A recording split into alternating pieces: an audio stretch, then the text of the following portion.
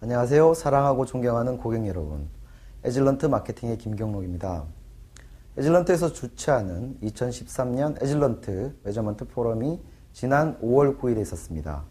그 당시 제가 기조연설에 한 파트를 진행했었는데 그때 말씀드렸던 내용 중에 하나가 한국 디지털 어플리케이션들에 대한 포커스가 2012년에서 2013년으로 오면서 큰 변화를 보이고 있다는 점이었습니다. 한국이 강세를 보이고 있는 전통적인 반도체 메모리 시장과 디스플레이 시장에서의 어플리케이션 위주에서 빠른 속도로 모바일 관련된 어플리케이션들로 무게중심이 재편되고 있습니다. 예를 들어 HDMI에서 파생된 MHL, DisplayPort에서 파생된 MyDP 등이 대표적인 예가 될 수 있겠습니다.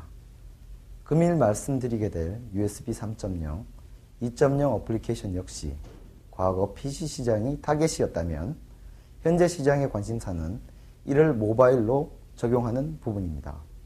이는 전 세계적 트렌드인 PC 시장의 감소, 모바일 시장의 급속한 증가와 맞물리는 것이며 smart device에서의 데이터 전송에 대한 측정 요구가 급격하게 증가되고 있음을 나타낸다 할 수 있겠습니다. 특히 USB 3.0의 경우 기존 data rate가 5GBps였었는데 최근 USB IF에서 전송 속도를 10GBps로 올리겠다는 의지를 나타낸 바 있으며 data rate의 증가함으로 인해서 고객 여러분들께서 physical layer를 측정함에 있어서 공고되는 CTS를 만족하고 제품을 개발하고 디버깅 할 때 어려움이 증가되게 됩니다.